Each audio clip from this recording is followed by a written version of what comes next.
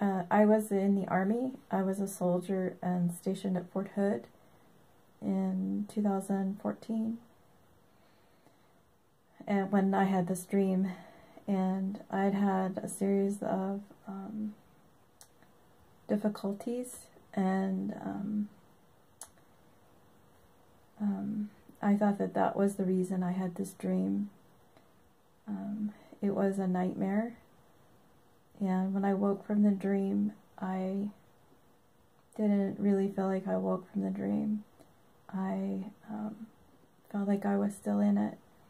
And I remember standing in formation and feeling like I was still living the dream.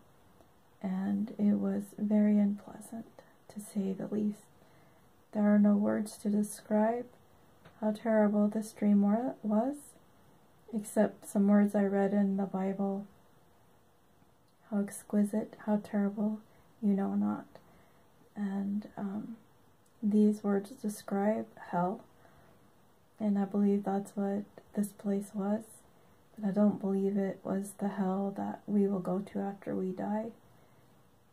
I believe that it's taken me many years to understand what this dream was, what I believe it is now, and what it is that I experienced.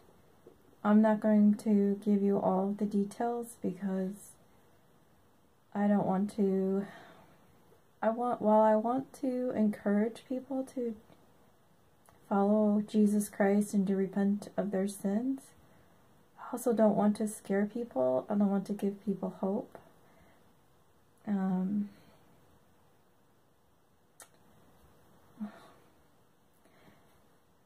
Um, I want to tell you that if you do not repent um, of your sins and follow after Jesus Christ perfectly, that um, you will regret it.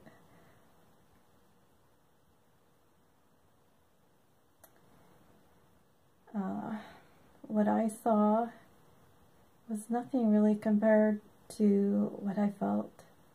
What I felt now, I understand, is God's Spirit being withdrawn from the earth. And um, there will be no escaping it. And uh, hell is basically um, eternity after you die will be eternity without God, and that will be the fate of the wicked. But uh, when Christ comes again, he will take the the righteous that have remained have managed somehow to remain alive because what I saw were the wicked killing the righteous and eating them. And um,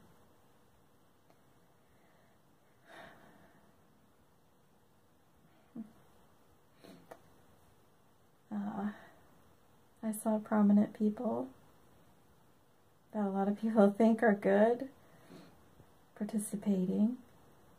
I saw it in a place that people would never imagine these things occurring. And um, I'll say to you that it's very important to follow after Jesus Christ. You definitely do not want to be in this place. Um, when he comes, you definitely want to go with him if you're alive. And you definitely don't want to go to this place whether you live or die. Um, you definitely want to be with God. Um,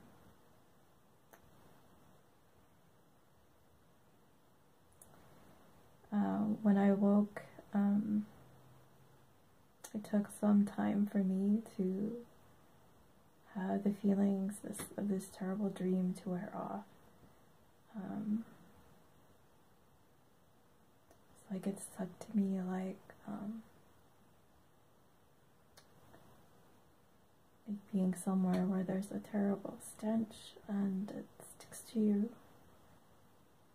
Uh, but it, it clung to to me. Uh, it was a horrible, horrible fear. Like something I've never experienced. and um,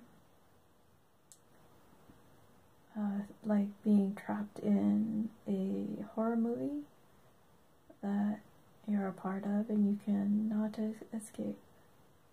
Uh, hell is the absence of God, and if you do not repent of your sins, then you will suffer for eternity in hell. You must repent of your sins and accept Jesus Christ um, as your Lord and Savior. And um, there's much more, of course, that goes into accepting the gospel and following after Jesus Christ. Um, but I, I just wanted to share that dream, and um, I have also had many, many dreams about the destruction of America. I have also had a dream that in the end, America will be redeemed, that the wicked will be destroyed, and all who fight against God and Jesus Christ will be destroyed. All those who kill the Christians will be destroyed. And um,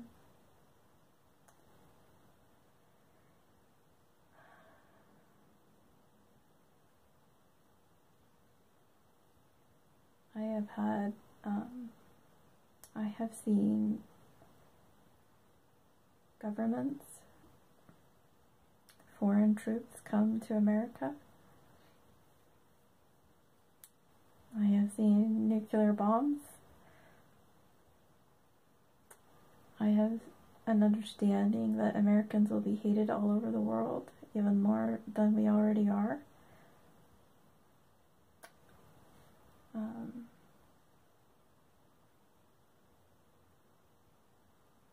I have had so many dreams, and there will be so much sadness.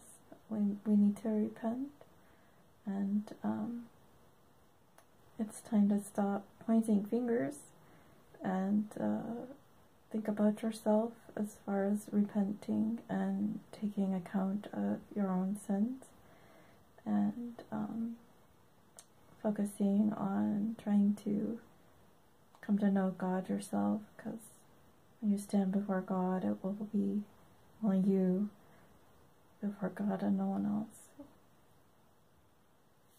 This is what I want to share with you right now.